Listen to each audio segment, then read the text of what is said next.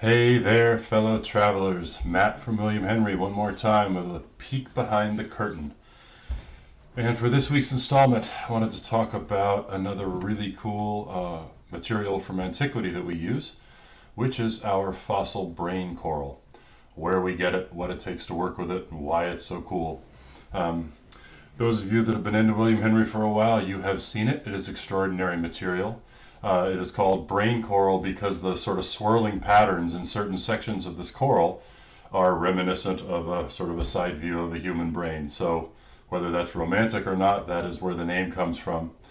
And we get this material, this fossil brain coral, which is, by the way, about 100,000 years old, from one guy, not a big company, not multiple sources, one guy. His name is Charles Turnage.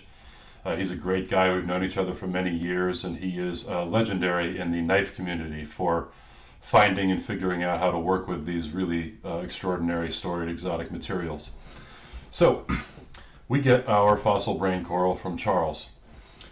Charles, I'm not sure, he either bought the actual uh, lime pit or the rights to a lime pit, abandoned lime pit, uh, the mineral lime, in the Florida Keys that lime pit, the sort of the, the, the lime when it was being mined, is an old coral reef that is now part of the land. And what he discovered was that there were uh, intact heads of coral still, or, or big chunks of heads of coral in this abandoned lime pit.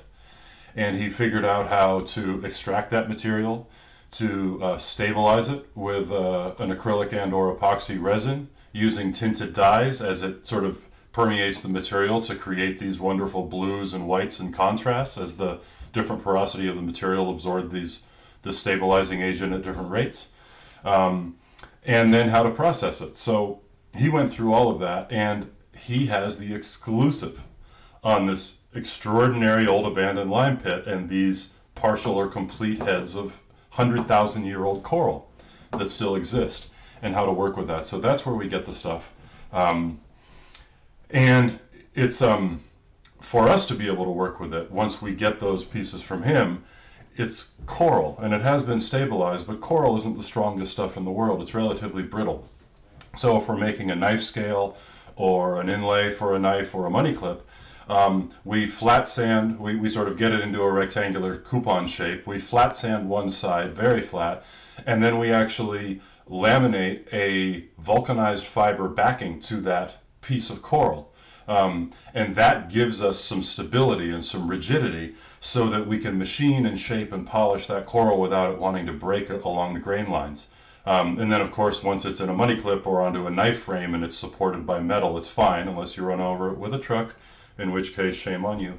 Um, so the processing is, it took us a while once we had this material to even figure out how to work with it. And then, ah, let's make some pens. That was a whole nother step. And we do make some gorgeous writing instruments featuring this fossil coral.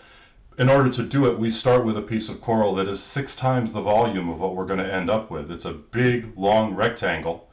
That's, and then we actually encase that in an epoxy resin in a tube so that we can drill it, center drill that whole piece without breaking the coral.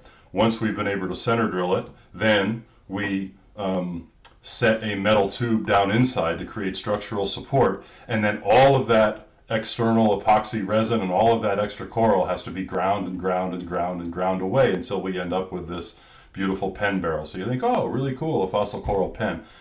What it takes us to do it.